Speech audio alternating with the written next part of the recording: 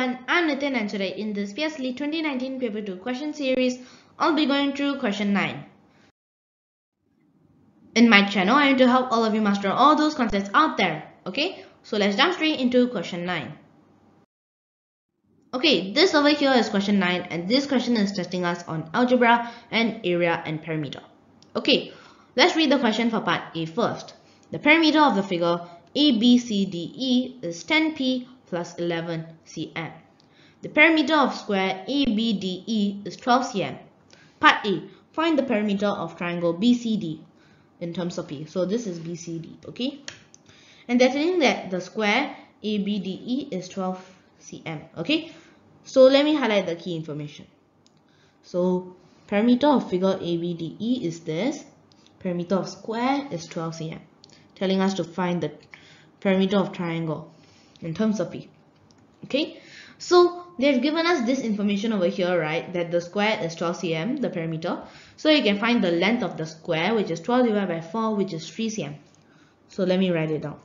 Here it is 3 cm, 3 cm, 3 cm, and 3 cm. And they're asking us to find the perimeter of BCD, right? We need to know the length of line BC and CD, but we do not know that and the other line is this 3 cm over here BD okay?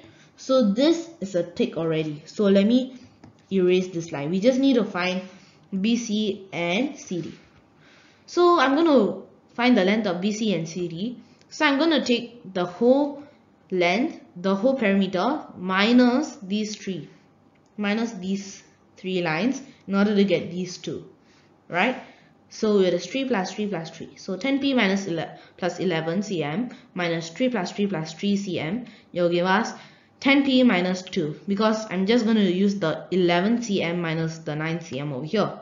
So it will give us 2 over here. So it's 10p plus 2 cm. So in order to find the perimeter of it, I'm just going to take 10p plus 2 cm plus another 3 cm. So it will give us actually 10p plus 2cm plus 3cm which is 10p plus 5cm okay? So this is the answer for part A. Now let's read part B. The perimeter of the figure ABCDE is 31 cm what is the value of P? Okay let's highlight it. So the perimeter of the figure ABCD is 31 what is the value of P? They're asking us Wait, I thought they already gave us the perimeter of figure ABCDE, which is 10p plus 11. Now we can form an equation, right? So it's 10p plus 11 is equal to 31 cm. So we can find what is 10p. 10p is actually 11. This is a positive sign, right? When you bring it over the equal sign, it will become a minus. So 31 cm minus 11 cm is equal to 20 cm. So 10p is equal to 20 cm. Now I can find the value of P by taking 20 divided by 10 which is 2 cm and 2 cm is the answer for part B. Yes, we found out the answers. Okay, so I hope you understood my explanation for this question, question 9, part A and part B. Thank you and bye-bye. I'll see you in my next video. Bye!